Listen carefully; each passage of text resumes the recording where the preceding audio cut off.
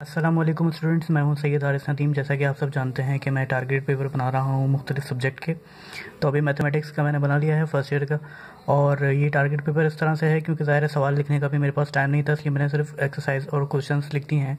और आपकी आसानी के लिए मैं आपको एक थोड़ी सी गाइडेंस दे दूँ कि फॉर एग्ज़ाम्पल आपको जैसे आप, बेहतर आपके लिए ये है कि तैयारी से पहले आप इसको लेकर, इसके पहले तो स्क्रीन ले लीजिए ताकि आपको आसानी हो जाए बार बार वीडियो पर ना आना पड़े।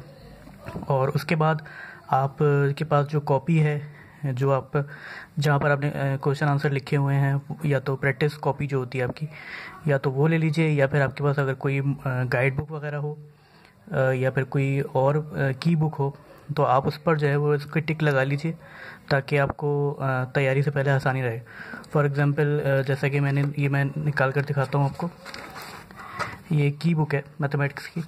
तो फॉर एग्ज़ाम्पल उसमें लिखा हुआ है exercise number three point three का question number one and two तो आप सबसे पहले exercise number three point three का पेज नंबर देख लीजिए पेज नंबर सेवेंटी थ्री और इसमें अगर मैं पेज निकालूं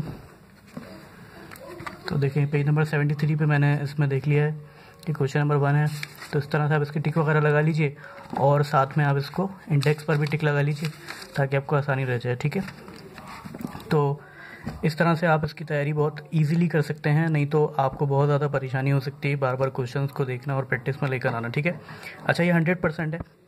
और अगर आप इसकी तैयारी करते हैं तो हंड्रेड परसेंट पेपर की तैयारी है, ठीक है? तो अगर आप चाहें तो जिसको जिस चैप्टर में या जिस एक्सरसाइज में थोड़ी परेशानी हो कि मेरी मेरी उसकी तैयारी नहीं हो पा रही है या मैंने तैयारी की थी, लेकिन उसके आंसर्स हमेशा गलत आते हैं या कोई भी प्रॉब्लम है तो वो उसको स्किप कर सकता है। स्किप करेगा तो फिर वो उसको चॉइस में छोड़ सकता है या फिर उसका मतलब फिर भी पेपर अच्छा होगा। अगर अगर उसमें से वो चंद एक्सरसाइज को छोड़ भी देगा, तब भी पेपर इनशाला अच्छा ही होगा।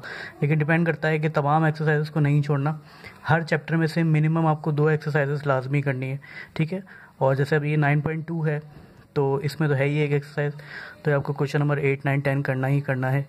ये रिम वाले क्वेश्चन हैं, ठीक है? अल्लाम वरहमल